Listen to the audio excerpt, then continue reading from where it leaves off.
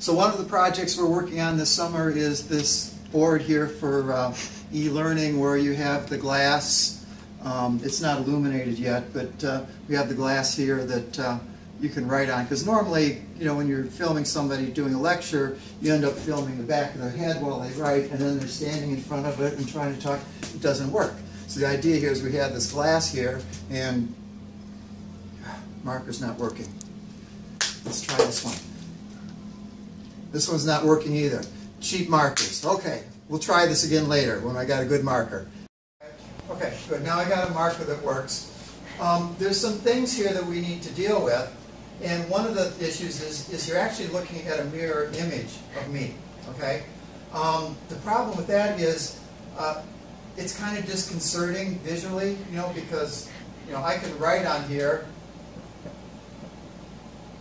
and and that that looks fine. You know, you can see that, and and you know we can draw, and you know we can make a graph, you know something. All this stuff that all works, and that looks right. But looking at me, this mirror image is an issue. So what I'm going to do is I'm going to play some tricks here. I'm going to switch my watch to the other arm, and I'm going to part my hair on the other side. And now there's no visual cues to tell you that you're actually looking at a mirror image because, you know, I look normal with my watch on my left arm and my hair parted on the side it's usually parted on. So, you know, it, it's less distracting, you know, because there's just no way you can tell it's a mirror image here. But it, and this also lets us, you know, maintain continuity, which is important in a professional presentation, because we can switch from the presentation here on the glass board and we go to another location and we can switch to, you know, recording some video here where, for example, I'm by the Intelligent Ground Vehicle Competition Vehicle, and then we'll have a seamless transition back to the clear port.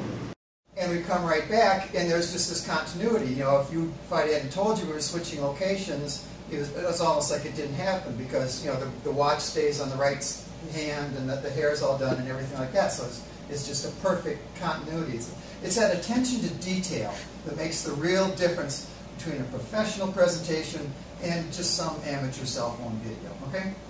Um, what else? Oh, one more thing.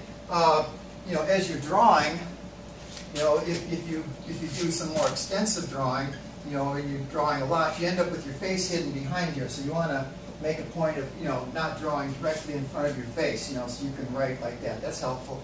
And the other thing I find is, you know, emphasizing. I, I tend to use my hands a lot, and sometimes I'll gesture with my glasses. And the other thing I tend to do that doesn't work with this board is, is move into the camera. Because if I try to move into the camera, I run into the board, and you know, it just, it just, I, I can't, it's hard to understand and everything like that.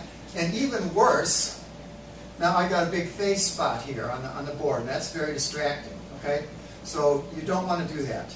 So I think that's all the stuff I really needed to cover today you know, I hope you found all this useful because this is important stuff. You know, if you want to make really quality professional videos, this attention to detail and these little things make all the difference. So thank you for tuning in.